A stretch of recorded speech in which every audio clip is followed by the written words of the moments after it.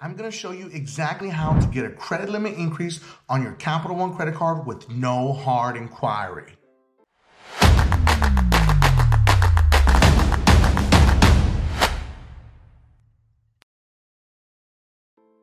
Now, we were in New Orleans literally two nights ago, and now we are in Virginia because my son's karate tournament slash award ceremony is in this town. So I had to come, come out here to see my son win this amazing award. And I'm still going to give you the sauce about Capital One. We're just missing the gold microphone. That's just about it. But let's talk about Capital One because this is huge. A lot of people do not understand the value of having Capital One on your credit reports. It is the most valuable thing you can actually possibly do because Capital One is one of the largest subprime lenders in the United States. And having them on your credit report looks amazing because you want to have at least anywhere from two to five large banks on your credit reports. And I'm talking about, so now we're counting Capital One. Now you can also get American Express, Citibank, and then Discover. And then the final piece is going to be Chase Bank. Having those five lenders or just one or three or all five of them on your credit reports shows that you are a responsible borrower. So now I'm going to teach you exactly how to get all the things you need from Capital One, and the first piece being that credit limit increase. So make sure you watch to the end. Welcome back to the channel. I'm Mike the Credit Guy. I'm the owner and founder of Limitless Culture. We created the most advanced DIY credit management system in the industry. Our system allows you to take control of your credit, creating custom Metro 2 attack letters every single round, never using templates for only $55.99 a month. Link is always going to be in the description. Now let's get into this video. I want you to know something very important.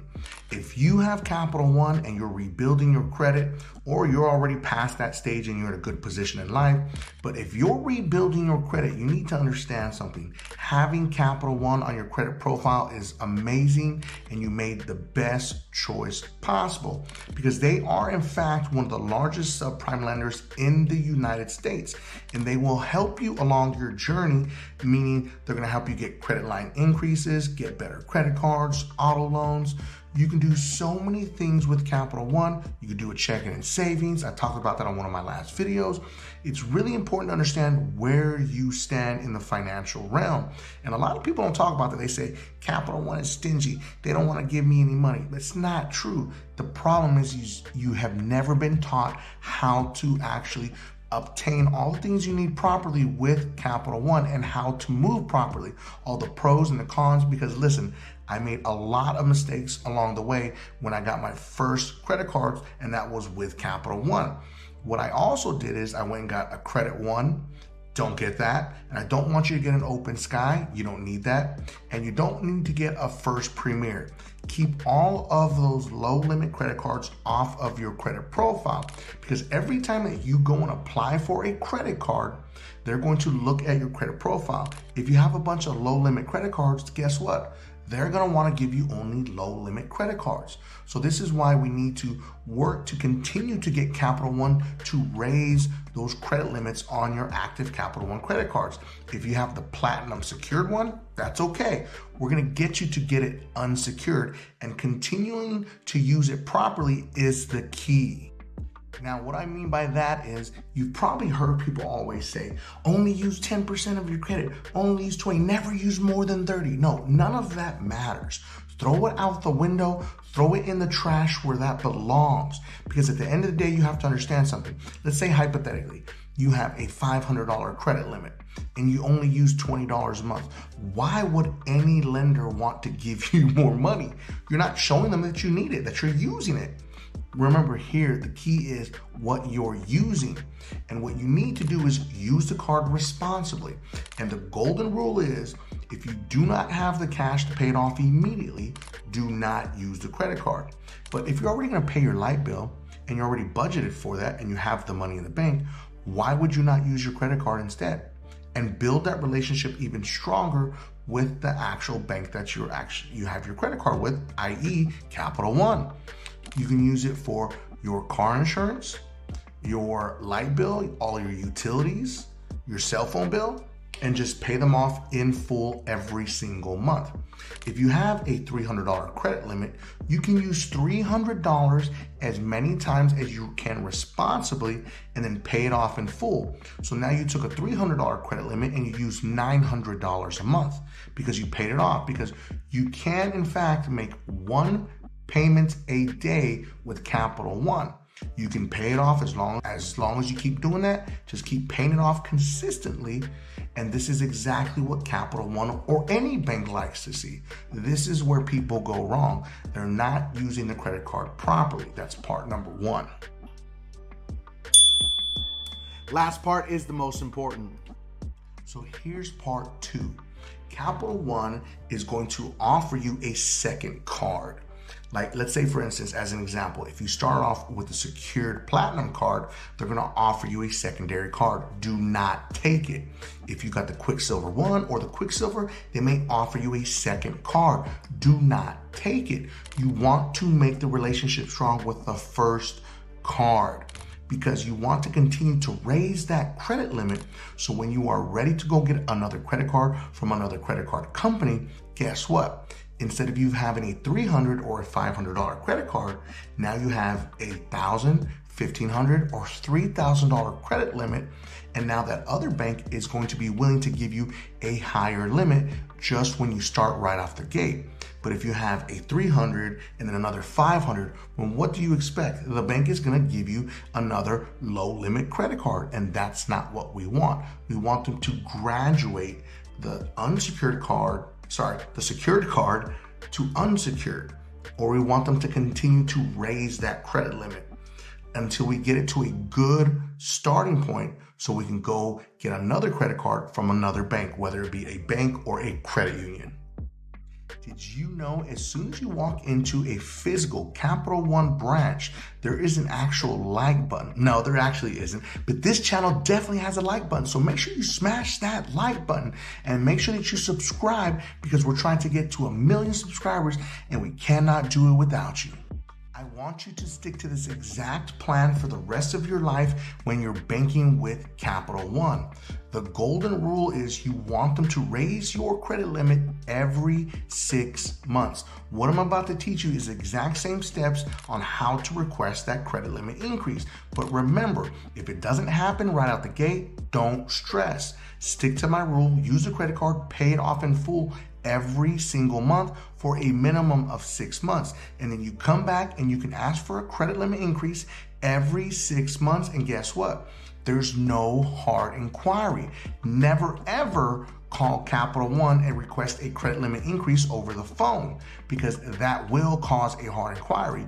You want to go directly inside of the app and then you request it there. And that's the exact place where you will not get a hard inquiry with Capital One. All right, so the first thing we're gonna do is we're going to open up the Capital One app. Now we're gonna choose the card that you want to request a credit limit increase on. So once you find that card, you're gonna go to the very bottom right corner. We're gonna put these all up on the screen so you can see them. You're gonna click on profile. Once you click on profile, then the next screen will say account settings and features. Click on that button. Then the next move is going to be request credit limit increase. It's really just as simple. And once you put, once you hit that, then it's going to ask you a series of questions. The first important question it's going to ask you is going to be your employment status. Never, ever, ever put that you're self employed. If you own a business, you just put that you are an actual employee because at the end of the day, you are an employee of your business. If you put that you are self employed, this will limit your credit limit increases and they will keep a tight watch on you and they can potentially do what's what we call a financial review. We don't want none of that nonsense. So always put that you're employed.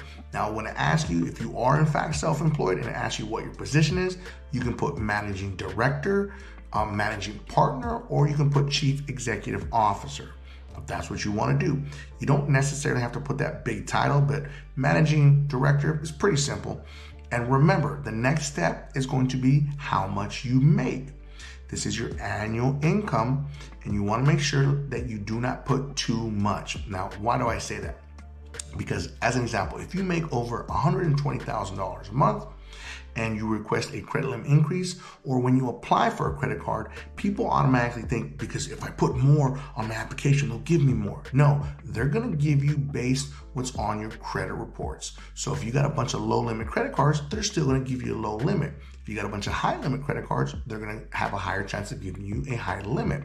It depends on what's on your credit reports. Always remember that. So if you make $120,000 a year, you want to start off by putting, uh, I make $60,000 a year.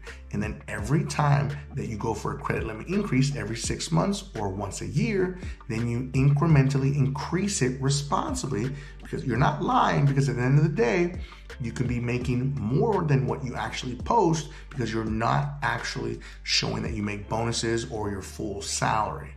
But remember, never ever put some crazy large amount because then you're not going to give yourself room to grow.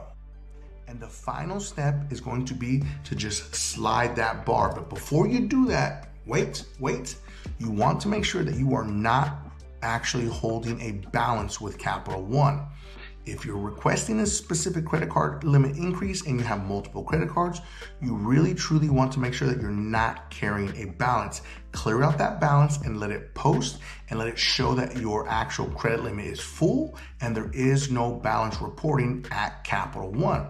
This will increase your chances of getting a credit limit increase. Now, listen, don't come for me in the comments saying, I requested it and they gave me a credit limit increase. That's perfectly fine. But we do not want to reduce any of the chance that they do not give this to us. So the more opportunity we have, we want to make sure we make all the right choices so we get that credit limit increase. I almost forgot to tell you one last thing. I want you to know exactly how the tier system works with Capital One. So if you're rebuilding your credit or you're just already in a good position with your credit and you need to understand how or what credit card to get next, understand that it all starts at the very bottom. Every credit card that is designed with Capital One is designed for your credit profile. So if you're at the very bottom of your credit score and it's horrible, you got jacked up credit, you start off with a secured card, which is the platinum secured, or you'll start off with the platinum unsecured. So it goes platinum secured, then platinum unsecured. And then the next one is gonna be your actual Quicksilver one. And then after that is the Quicksilver. Then after that is the Savor 1. And then after that's the Savor card. And then after that is the actual Venture card, then the Venture 1, and then the Venture X. As you can see, every single one of these credit, credit cards are designed for specific credit scores and specific credit profiles. You're not going to go from the platinum secured all the way up to the Venture X. It just doesn't work like that with Capital One. Build up your trust, build up that credit profile, and build up that credit score. And that's how you get to the very top of the tier with Capital One. So there you have it, ladies and gentlemen. That's exactly how you get a credit limit increase with Capital One. And I hope I gave you all the data points so you can be 100% successful. If there's something else you want me to talk about, drop it in the comments section. Drop some emojis in there so we can get this video going so more people can learn exactly how to maneuver with Capital One and understand that it is, in fact, a great bank to be with. And make sure that you watch the next two videos because those are recommended by YouTube. And don't forget, subscribe to increase your credit score.